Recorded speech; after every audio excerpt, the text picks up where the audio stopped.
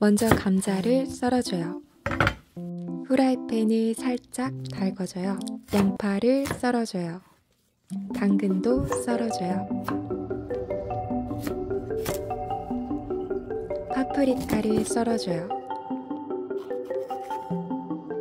썰어놓은 재료들을 같이 놓아줘요. 달궈진 후라이팬에 기름을 두르면 썰어놓은 채소들을 볶아줘요. 감자, 양파, 당근, 파프리카까지 잘 볶아줘요. 채소가 볶아지면 고기를 올린 후 다시 한번 볶아줘요.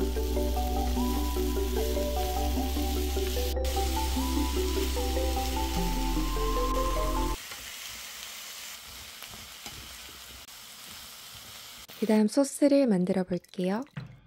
달궈진 팬에 소스를 풀어줘요. 볶아진 채소와 고기 위에 소스를 올려줘요.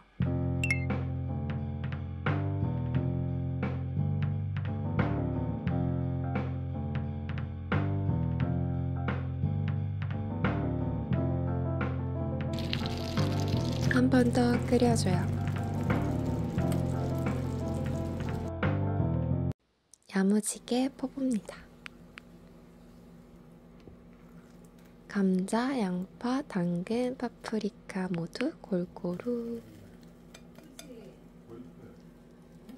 밥도 푸짐하게